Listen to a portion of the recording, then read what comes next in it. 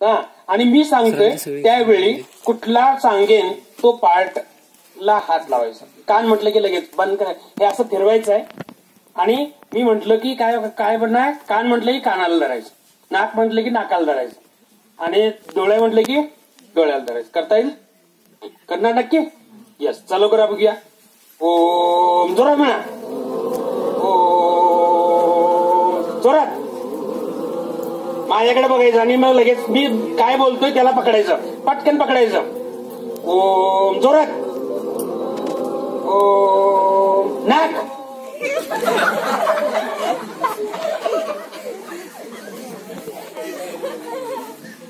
काही जणांचं नाक इतकं होत. नंतर त्यांच्या लक्षात आलं काय परत बघूया. यस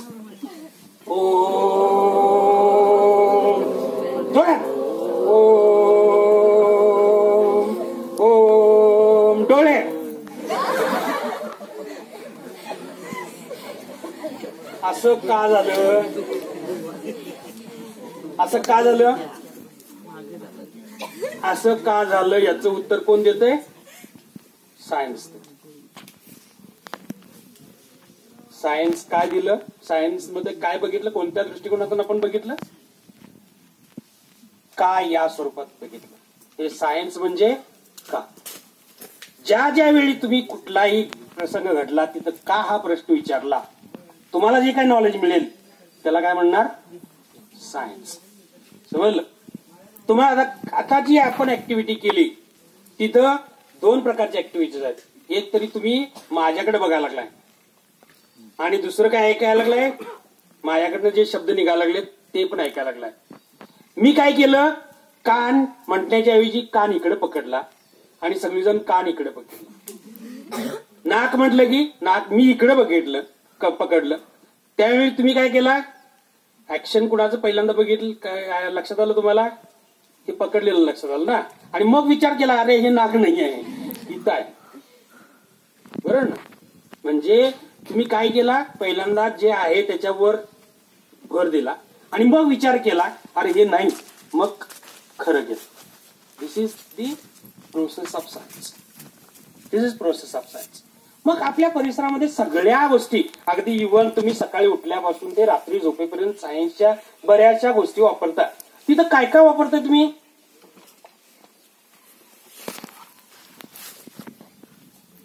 काय काय वापरता म्हटलं प्रश्न म्हटला की सगळं नाराज झालं होय की नाही? तुमचे सर नाही बरं का मी? आपण चर्चा करणार आहे मित्र म्हणून. काय काय वापरता? सकाळी उठल्या उठल्या दात घासताय. माती घेतली आणि दात घासायला चालू केलं बोटानं. चालतंय? का होईल? काय होईल? एक तरी मातीतली घाण तुमच्या तोंडात जाणार. दुसरं बोटानं घासलं तर काय होईल? काय होईल? दोन दातांच्या मध्ये अडकलेले अन्नकण सुटणार नाहीत का? नाही त्याच्यासाठी आपण काय डेव्हलप केलं? ब्रश घेतला. ब्रशचं काम काय? दोन दाताच्या फटीतलं अडकलेले अन्नकण काढणं. मग कधी काढायचं असते ते? सकाळीच काढायला पाहिजे. संध्याकाळी कधी? जेवल्यानंतर काय? जेवणाच्या अगोदर. प्रश्न आली? काच प्रश्न उत्तर मिळालं तुम्हाला? हे असं डेव्हलप करता आलं पाहिजे. हे बघण्याचा दृष्टिकोन. हे बघण्याचा दृष्टिकोन. प्रयोग इथं साध्याच दिसतील तुम्हाला. पण त्याच्याकडे बघण्याचा दृष्टिकोन कसा असेल त्यावरनं तुमची तुम्ही कशी डेव्हलप होत आहे पुढं पण तसंच डेव्हलप होणार आहे. आता एकदा जर तुम्हाला क्लिक मिळालं तर याच्यापुढे तुम्ही त्या पद्धतीने डेव्हलप होत आहे नॉलेज मिळवण्यासाठी भरपूर साधन आहे पण नॉलेज मिळवण्यासाठी तुम्हाला तुमचा स्वतःचा विचार पण करता करता यायला पाहिजे. काय झालं?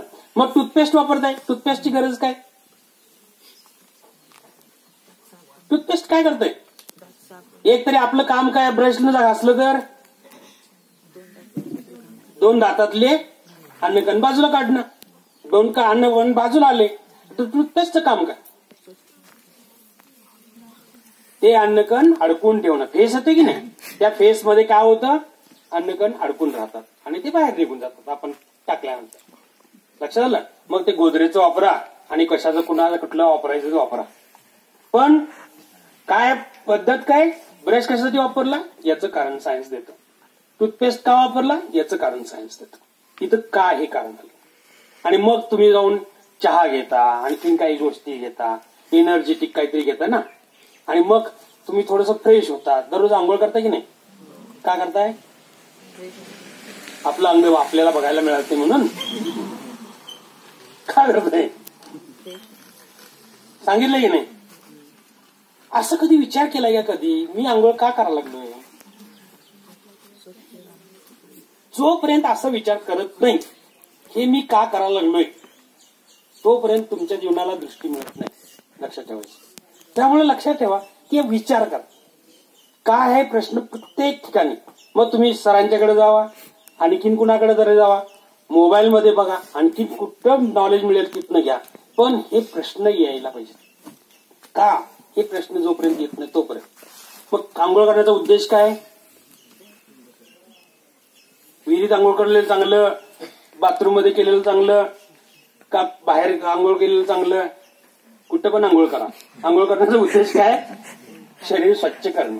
बरोबर ना? शरीरामध्ये आपल्या त्वचेवरती वेगवेगळे ग्रंथी काय करत असतात? रसायन सिक्रेट करत असतात. त्यांना काय करायला पाहिजे आपण? ते सिक्रेशन जे आलेलं आहे तोंडा तोंडावरती भरपूर सिक्रेशन होत असतं. ऑइली पदार्थाचं सिक्रेशन होत असतं. त्याच्या प्रत्येक वेगवेगळ्या वातावरणाचं काहीतरी धूळ आलेली असते. त्याचं सगळं स्वच्छता करण्याचं काम हे आंघोळीच म्हणजे स्वच्छ करायचं काम कोण करतं? आंघोळ करतं. मग ते गरम पाण्यानं करा थंड पाण्यानं करा साबण लावून करा आणखीन काय काय काय काय लावायचं ते लावा. पण त्याचा मूळ उद्देश आपल्याला लक्षात यायला पाहिजे. वेज भरपूर आहे भरपूर आहे त्याचा उद्देश आपण बघायला पाहिजे.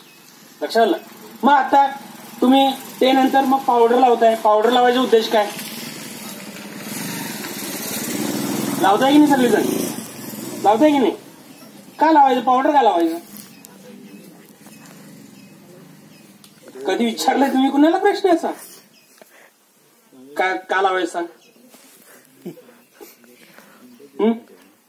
आपल्या त्वचेवरती जवळपास छत्तीस ग्रंथी आहेत त्या सुद्धा ऑइल म्हणजे आता तुम्ही बघा चेहरा.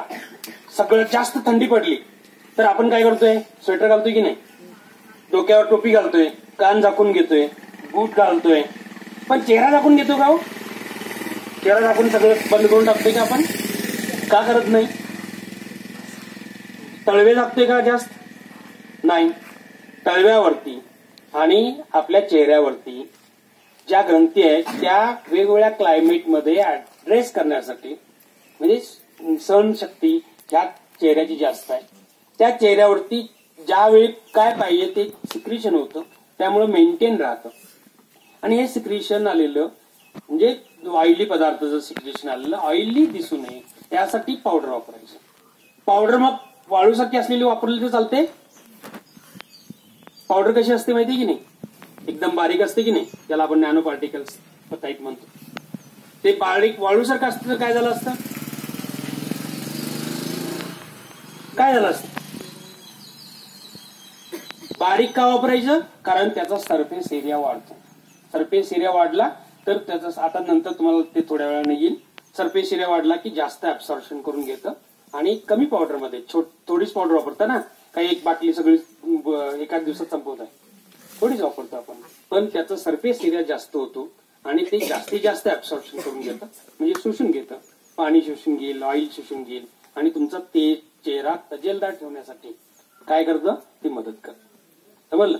म्हणजे काय माझा उद्देश काय लक्षात आला तुम्हाला?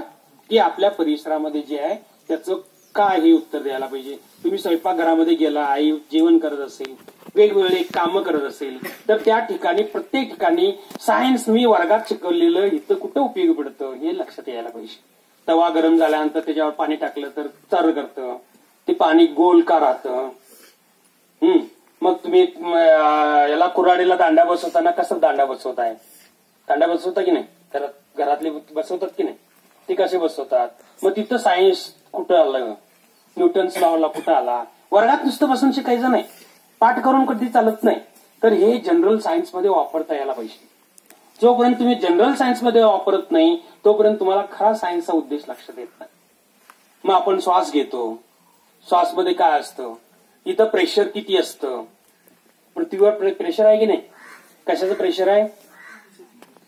कशाचं पृथ्वीवर प्रेशर आहे? हवेचं प्रेशर आहे. ना? किती आहे? किती प्रेशर आहे? माहिती तुम्हाला? साधारणपणे एक इंचामध्ये पंधरा पाऊंड पंधरा पाऊंड म्हणजे त्याचा भाग निम्मा करा. म्हणजे किलोग्राममध्ये येईल. म्हणजे साडेसात किलो. एका सेंटीमीटरमध्ये एक बाय एक सेंटीमीटरमध्ये साडे सात किलोचं प्रेशर आहे. जर तुमची त्वचा खोलली खोलली बकर सोलतोय की नाही आपण? तसं खोलली आणि पैस करून ठेवलं. तर ऍव्हरेज माणसाचा माणसाची त्वचा जी आहे ती साडेतीन हजार स्क्वेअर इंच होते. किती? साडेतीन हजार स्क्वेअर इंच एका इंचाला मी किती म्हटलं? पंधरा पौंड तर तीन हजार इंचाला किती होईल? किती किलोग्राम होईल? किंवा किती पाऊंड होईल? पंचेचाळीस हजार होईल की नाही? म्हणजे पंचेचाळीस हजार पौंडचं वजन प्रेशर बाहेरचं वातावरणाचं तुमच्यावर असतं. आणि तेवढंच प्रेशर आत बाहेर असतं. त्यामुळे तुम्हाला ते जाणवत नाही. असंच तुम्हाला उचललं आणि चंद्रावर नेऊन ठेवलं. काय होईल? हे प्रश्न आहेत. काय होईल? काय होईल? हा? बाहेरचं प्रेशर काही नाही आहे तिथं? होय की नाही? पण आतलं प्रेशर बाहेर टाकायचंच राहणार. मग असंच उचललं चंद्रावर नेऊन ठेवलं आतलं प्रेशर बाहेर घेतलं तेवढ्या पौंडचं तर तुमचे तुकडे तुकडे एवढे एवढे तुकडे होऊन जातात आणि ते होऊ नयेत यासाठी लोक काय करतात? स्पेस सूट घालतात ना? माहिती आहे ना तुम्हाला? स्पेस सूट घालतात की नाही? ते मोठा जाडचं जाड. कारण ते प्रेशर तिथं मेंटेन केलेलं मग आता त्या गोष्टी प्रेशर म्हणजे काय? एअर म्हणजे काय? हे आपल्याला तुम्ही शिकलाय आता ऑलरेडी मग त्यातले काही प्रयोग आपण करूया. बघूया. पहिला प्रयोग मी तुम्हाला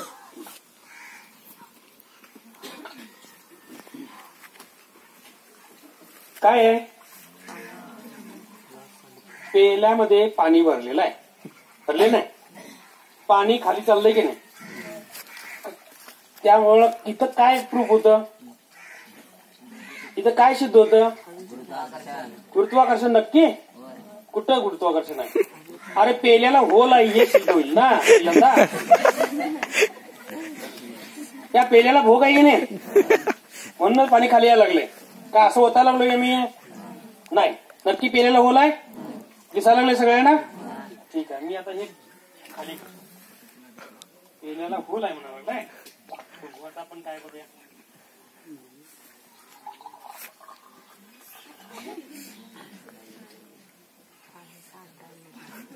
कुठे गेलं? होत की नाही होल? तुम्हाला दाखवलं की नाही? परत करू तोपर्यंत दुसरा एक प्रयोग करूया आणि मग तुम्हाला दाखवू लगेच दाखवूया. लगेच दाखवू लगेच दाखवू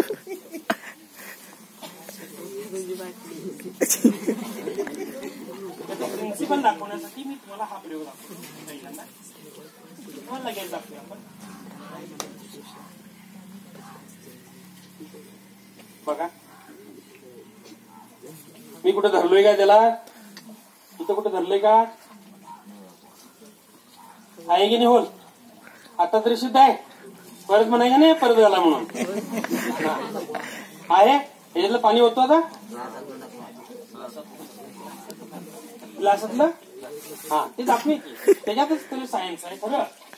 आता मी काय केलं? सगळं पाणी ओतलं. ओतलंय का? यात काय आहे का? नाही. आता बघा.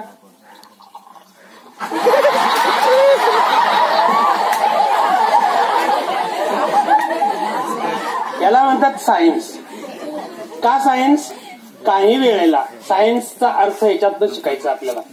की काही वेळेला. सायन्स म्हणजे काय नक्की सांगतो तुम्हाला. निसर्गाचे जे लॉज आहेत त्या लॉजच्या कंडिशन पर्यंत आपण गेलो तर ते प्रयोग सक्सेसफुल आणि जे कंडिशन सॅटिस्फाय करत नाहीत म्हणजे ते करेक्ट करत नाहीत तिथं आपण काय करतोय? अनसक्सेस होतोय. याचा अर्थ असा नाही की सायन्सचा लॉ फेल झाला. काय फेल झालं? माझा प्रयोग करण्याचा पद्धत चुकीची झाली. ओके? मी आता काय करतो? परत एकदा करतो. बघूया आपण. प्रयोग करून बघूया.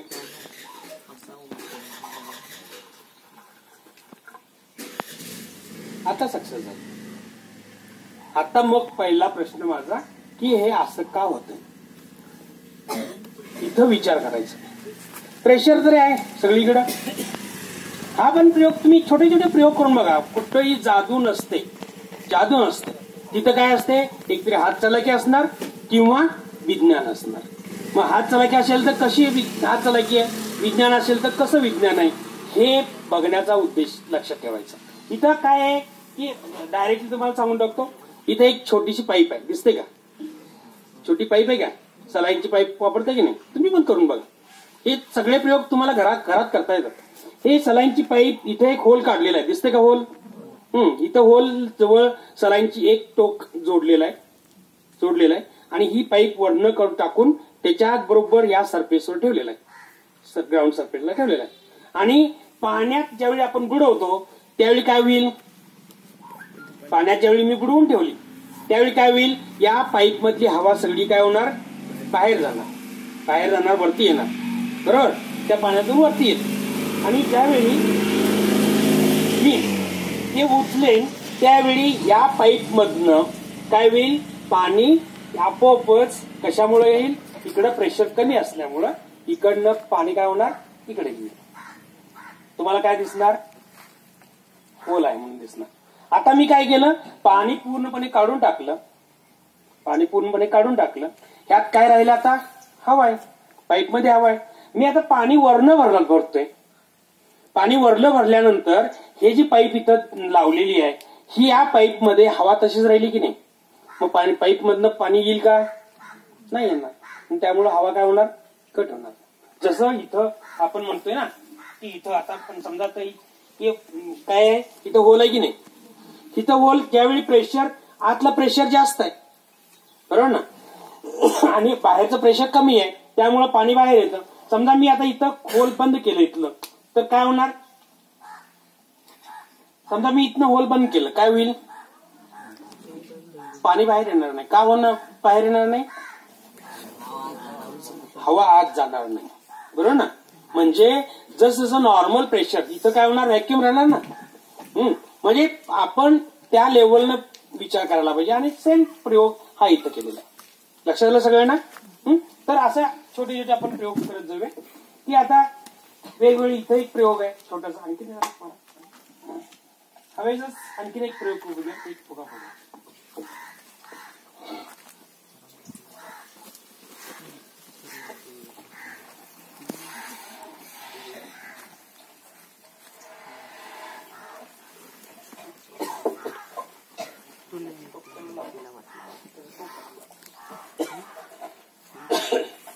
आता मी फक्त प्रयोग करून दाखवतो. छोटे प्रयोग आहेत पण बघा.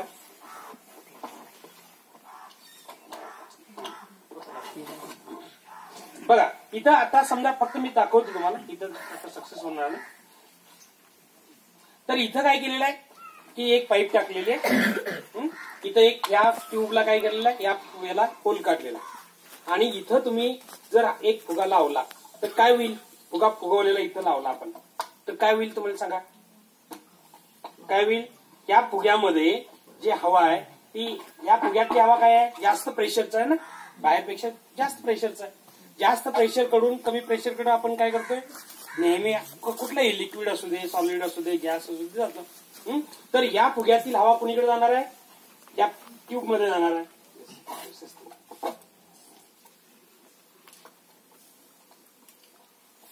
इकडे जा, इकडे जा. ग्लास द्या ग्लास द्या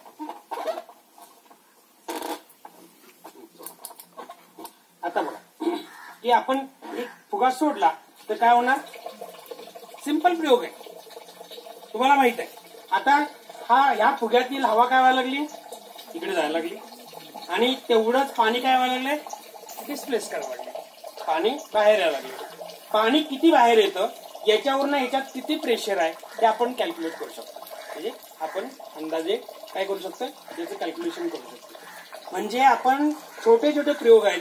त्या प्रयोगातनं प्रेशर किती असेल या ऍटमॉस्फेरिक प्रेशर किती असेल याचा अंदाज आपल्याला घेता येतो. ठीक आहे?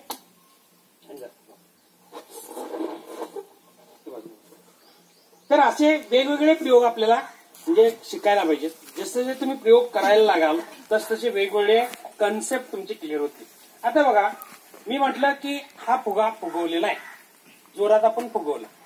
फुगा पहिल्यांदा फुगवताना जास्त आपल्याला प्रेशर करायला लागतं. का जरासं फुगल्यानंतर जास्त प्रेशर करायला लागतं? पहिल्यांदा. बरोबर ना? कारण याची जी इलॅस्टिसिटी असते इलॅस्टिसिटी माहिती आहे ना इलॅस्टिक रबर असते की नाही? तो तानू पर्यंत काय असतं? की जास्त प्रेशर द्यायला लागतं. म्हणजे पहिल्यांदा फुगा फुगवताना आपल्याला जास्त प्रेशर द्यायला लागतं. आणि एकदा फुगा थोडासा फुगला की पटकन जास्त फुगतो.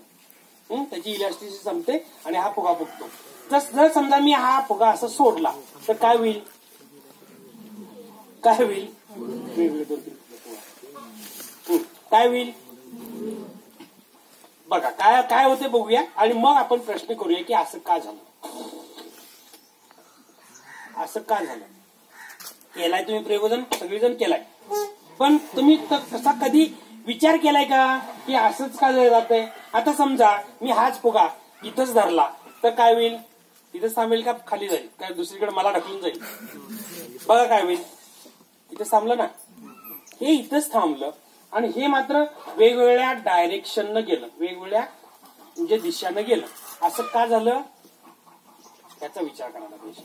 याला म्हणतात सायन्स आणि मग हे कन्सेप्ट एकदा लक्षात आले यायला लागले ना मग तुम्ही त्याचं कॅल्क्युलेशनमध्ये जाता. आणि मग त्याचं मॅथमॅटिकली काय करू शकताय? इक्वेशन बनवू शकताय. बघा या याच्यामध्ये काहीतरी रबर आहे की नाही? का या रबरामधनं हवा येत असताना या रबराची लांबी वाढत जाणार आहे. त्या रबराची लांबी काय होत जाणार आहे? वाढत जाणार आहे. मग रबर खाली वर होणार प्रेशरना आणि त्यामुळे जसं जसं रबर खाली वर होईल त्या पद्धतीने त्याची दिशा बदलत जाईल. लक्षात आलं का मी काय म्हणतोय ते?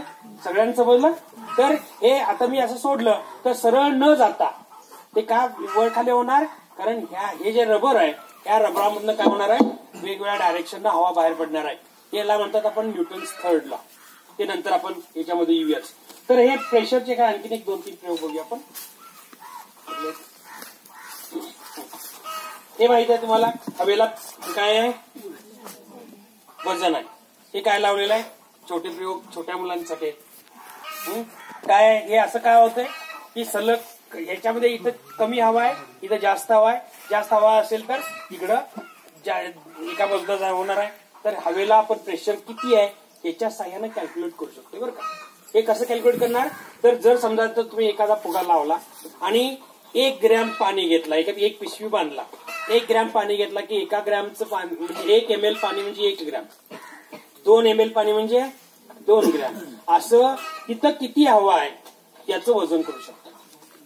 लक्षात आलं का? म्हणजे वजन पण करता येतं आणि प्रेशर किती आहे हेही मोजता येतं. तर अशा वेगवेगळ्या पद्धतीचे प्रयोग तुम्हाला बघता येईल. Yes, करून बघा करून बघा.